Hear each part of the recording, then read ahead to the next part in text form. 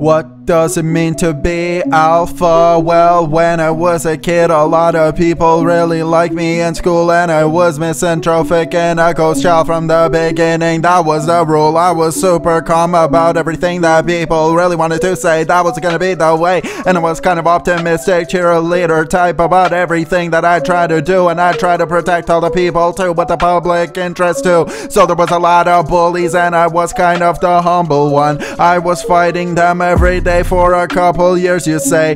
There was gonna be one on five people, and that happened three times. And there was one time I pissed off some bullies, and I don't know, their alpha came and he said that I needed to fight, well, 20 people because they ran after me at the schoolyard. And I'm just trying to think about all the people I had to fight with the reality that I was pretty humble inside. I never declared that I am king, only if someone asked some reference to the sense of anything that's related to the better position of something that has lots of deep purpose and affection, then I would say, yes, I am king today because that is just the way that I kind of live this life. I was kind of a gangster child. I had actually a gang and I was in and I made them, you know, I told them to drop all the knives that they were trying to fight within that certain time frame. That was kind of so crazy. I'm trying to think about the life of all the things that happened to be.